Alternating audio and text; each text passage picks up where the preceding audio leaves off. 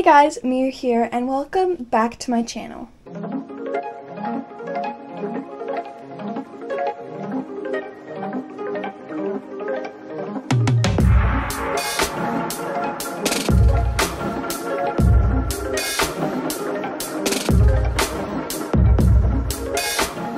In today's video, I'm going to be showing you a yarn haul. Earlier today, we went to a loom house. It's a little hidden gem in my local area, and I got to loom a little mug rug. It looks like this. It's super pretty, and I love the colors and materials, but my favorite part was definitely the experience of just getting to hands-on loom a beautiful creation. I'm super excited to use this mug rug to put my drinks on and display in my house. But aside from making that mug rug, they had an amazing deal on some super gorgeous yarn. First, I got this Bernat blanket yarn, and usually this is $12 at your local craft store, but they actually had it for only $8, which I thought was a really good bargain. I've been looking for some of this type of yarn to make plushes with, and I'm so glad I finally found it for a discounted price and also it felt really great supporting a local business.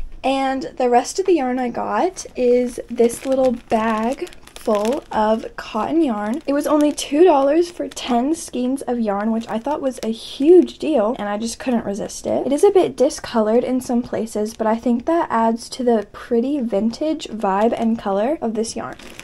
So let's open this up.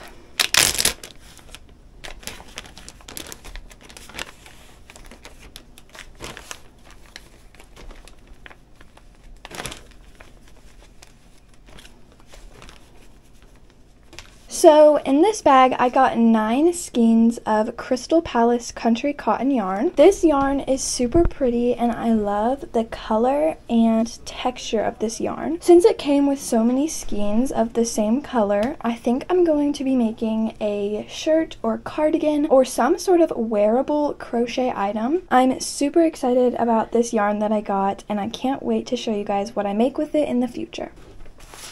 And the last skein that I got in this bag is Patons Cotton Sahara yarn. I've never heard of this yarn before, but it looks pretty fun and I do love the color. After doing some research on these yarns, I found out that both of them are discontinued, which makes this yarn haul even more special because I have yarn that you can't get anywhere else.